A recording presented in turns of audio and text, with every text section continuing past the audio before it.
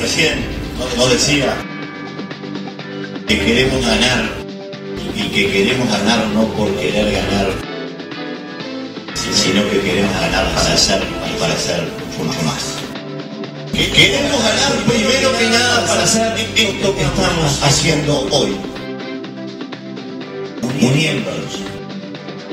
Uniéndonos bajo las banderas del partido. No vamos a dejar que los gurises las muevan y que las muevan con fuerza. Porque esas banderas son el viento de cambio que empezaremos a transitar a partir de hoy.